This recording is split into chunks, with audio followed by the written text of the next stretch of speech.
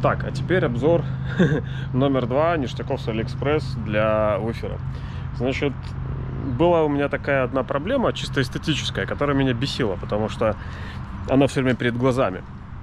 Это вот здесь, вот в этих местах два и с той стороны еще два болта, которые постоянно ржавели. Плюс здесь стоит вот эта вот бочка, которая с гайкой внутри, ну вы знаете, да? Значит, вот с Алиэкспресса заказал вот таких вот болтиков сразу с э, вот этими резиновыми бочками, которые меня просто вот вымораживали из-за того, что где-то они вышли из строя, разорвались, где-то э, уже не закручиваются и так далее. Плюс вот эти вот болтики, которые рядом с, рулем под клепонами, блин, они ржавеют, что я с ними только не делал. И э, обрабатывал антикоррозией, там, короче, они становились такие серенькие после антикора. Блин, пару дождей, попадает влага, опять ржавеют.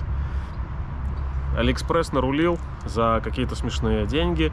10 таких э, болтов с бочками, с этими гайками. Э, ключик, который, в принципе, у меня есть. Ну ладно, хай будет бесплатно, даже, типа, у подарок. Дело в том, что вот эти вот э, резиновые бочки крепления пластика, они с годами изнашиваются, лопаются и уже, ну, ничего не закрепить. Частично у меня где-то местами уже таких не хватает, поэтому вот это решение прям, прям вот замечательное. Плюс выбрать можно всегда цвет, я выбрал такой золотистый, хотя на фотках он был желтый. Но хрен бы с ним, пойдет.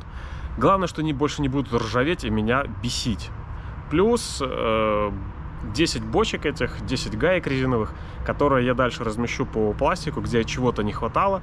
И сейчас этого всего будет хватать, потому что предыдущий хозяин где-то что-то по... Э, потерял. Вот. Так что в целом Алиэкспресс иногда выручает, чем, тем более, что доставка была очень быстрая, и поворотники приехали там за 10 дней, вообще нонсенс. Эти бочки приехали там недели за две, и что-то там еще поприезжало. А, ну, шмотки, вот типа термобелево такое на меня приехало, э, которое типа летнее охлаждает. В целом, в принципе, комфортно. Ладно, но термобелье потом, а сейчас я буду устанавливать эти бочки и восстанавливать крепление мотоцикла дальше. Всем пока.